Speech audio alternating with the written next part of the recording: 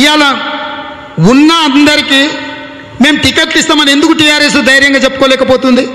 నేను సూటిగా సవాల్ విసురుతున్నా కేసీఆర్కు కేటీఆర్కు మీ సిట్టింగ్ ఎమ్మెల్యేలు అందరికీ సీట్లు ఇస్తామని చెప్పే ధైర్యం మీకుందా?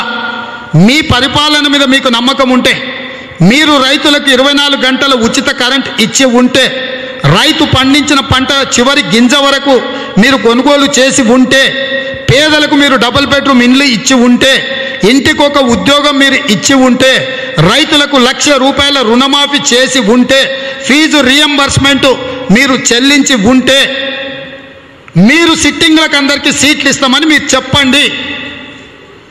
మీరు మొగోళ్ళు అయితే మీకు మగతనం ఉంటే మీలో చీము నెత్తురు ఉంటే మీరు మీరు సిట్టింగ్లకు అందరికి సీట్లు ఇస్తామని చెప్పమని అడుగుతున్నా. లేకపోతే మీరు ఆడా కాదు మగ కాదు మాడా అని చెప్పి నేను స్పష్టంగా మాట్లాడుతున్నా. మీరు ఆడవాళ్ళైనా మీరు మగవాళ్ళైనా సిట్టింగ్లందరికీ సీట్లు ఇస్తాం. కేసీఆర్ గజ్వేల్లో పోటీ చేస్తామని మీరు ప్రకటించండి. లేకపోతే మీరు మాడాకు మరో రూపం అని చెప్పి టీఆర్ఎస్ నాయకులను నేను డైరెక్ట్గా ఆరోపణ చేస్తున్నా. మీరు మగాళ్ళు అయితే రాండి. సిట్టింగ్లకు సీట్లు ఇవ్వండి. ఎనభై మంది ఎమ్మెల్యేలను ప్రజలు గోతి తీసి పాతి పెట్టకపోతే చూడండి.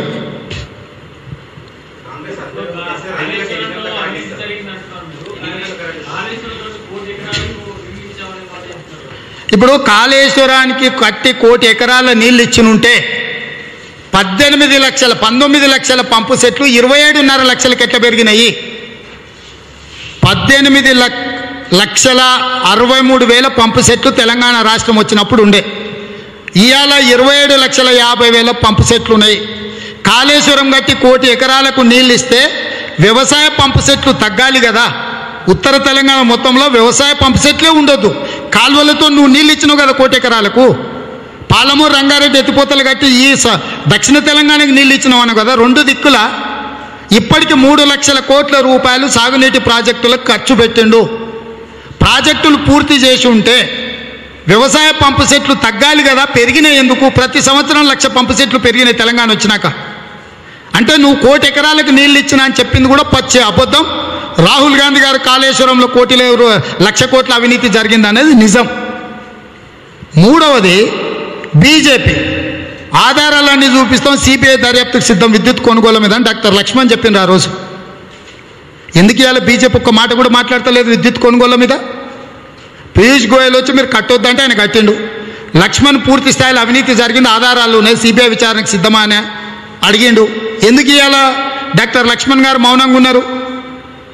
కిషన్ రెడ్డి గారు ఒక మాట కూడా మాట్లాడతలేడు. మౌనంగా ఉన్నారంటే ప్రభుత్వం చెప్తున్న ఇరవై నాలుగు గంటల ఉచిత విద్యుత్ ఇస్తున్నట్టు ఒప్పుకున్నట్టే కదా?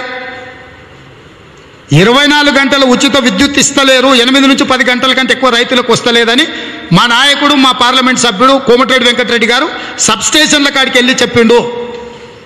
ఒకవేళ మీకు అనుమానం ఉంటే గజ్వేల్కైనా సిరిసిల్లకైనా నేను వస్తా మా షబీరాలి గారిని తీసుకొని మా కోమటిరెడ్డిని తీసుకొని. కేటీఆర్ వస్తాడా? కేసీఆర్ వస్తారా? టీఆర్ఎస్ వాళ్ళు ఎవరు వస్తారు? ఏ సబ్స్టేషన్ దగ్గరైనా చర్చ పెడదాము. గత సంవత్సరం నుంచి రోజుకి ఎన్ని గంటలు రైతులకు ఉచితంగా ఇచ్చిండ్రో అక్కడనే పోయి ఆ రికార్డులు తీసి లాగ్ బుక్ తీసి అక్కడనే చర్చ చేద్దాము. మీరు ఇరవై నాలుగు గంటల ఉచిత విద్యుత్ ఇచ్చినట్టు ఉంటే మా వెంకటరెడ్డి గారు మా పెద్దలు జీవన్ రెడ్డి గారు రాజీనామా చేస్తామంటూ సవాల్ స్వీకరించమని నేను అడుగుతున్నా. కాళేశ్వరంలో జరిగింది కూడా అవినీతి వరదలై పారింది నీళ్ళు పారలేదు. కాళేశ్వరం ముసుగులో ఆయన కాళేశ్వరం కట్టినమని రైతులందరినీ బస్సులు వేసి తీసుకుపోయారు. కాళేశ్వరం మూలంగానే అవినీతి నాణ్యత లేక అవినీతితో బలైపోతే మేము పోతామంటే పోలీసులను పెట్టి అడ్డుకున్నారు. మా శ్రీధర్ బాబు పోతే పోలీసులను పెట్టి కొట్టించారు కాళేశ్వరం కట్టినప్పుడు బస్సులు పెట్టి ఊర్లలో నుంచి రైతులందరినీ తీసుకుపోయి పెద్ద జాతరలాగా చూపించారు కదా. నీ అవినీతికి బలి అయ్యి నాసిరకం పనులు చేసి కాళేశ్వరం కొట్టుకపోతే ఆ ప్రాంత ఎమ్మెల్యే మాజీ మంత్రి శ్రీధర్ బాబు గారు పోతే శ్రీధర్ బాబు గారిని పోలీసులను పెట్టి కొట్టించి తీసుకుపోయి పోలీస్ స్టేషన్లో బంధించారు. ఇప్పుడు పోదాంపా కాళేశ్వరం దగ్గరికి తీసుకోపా. ఆయల్లో తీసుకుపోయినావు కూలిపోయినాక ఇవాళ ఎందుకు తీసుకుపోతావు నీ అవినీతికి బలైంది కదా కాళేశ్వరము. అదే కదా మేము చెప్పింది.